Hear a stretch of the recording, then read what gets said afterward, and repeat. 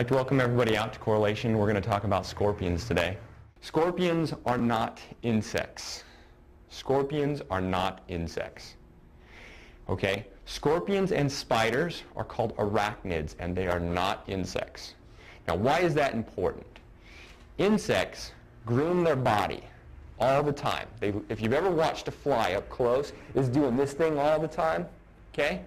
They always lick and clean their body, okay? Just like a dog does. Okay, let's go over a few more details. This is a makeshift scorpion here. We're looking at it upside down. Okay, pretend like it's upside down, laying on its back. Okay? Scorpions do not breathe like human beings breathe. They don't have lungs. They don't have a circulatory system.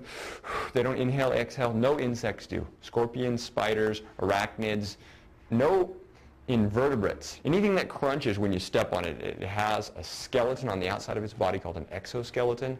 Anything that crunches when you step on it does not have any lungs or any method of breathing. Now what they do have are little tiny holes on the bottom side of their body. And those holes allow air to go into their body. And their organs, the bodily organs, are just floating in like blood. There's no pump, there's no heart, there's nothing. It's just floating in blood. And the oxygen exchanges through these holes. Okay?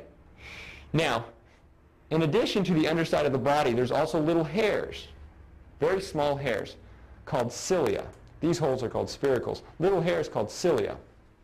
And what the, what the spider, or more specifically the scorpion, does with these hairs is scorpions are almost completely blind. They can't see hardly anything.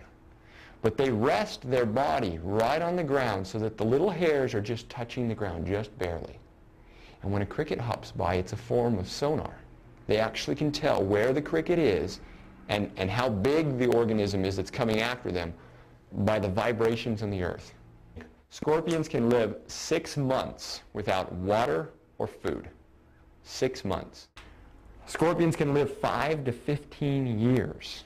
Okay? Five to 15 years. That's a long time. Most people, that, that fact will shock people. Okay? They're like, oh my gosh, this isn't a problem that's going to go away in the wintertime, is it? They'll, they'll be... Okay, now, if you have one female inside your wall, have 25 to 45 baby scorpions. She births, birth, those scorpions alive. She doesn't lay eggs.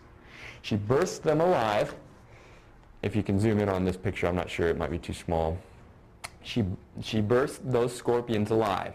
They climb up on her back and they piggyback. You can see them on her back all around inside your walls. And as they get bigger and bigger, they fall off. So she spreads them around in your walls. In a couple of months, they can start breeding, and they will breed with sisters and brothers.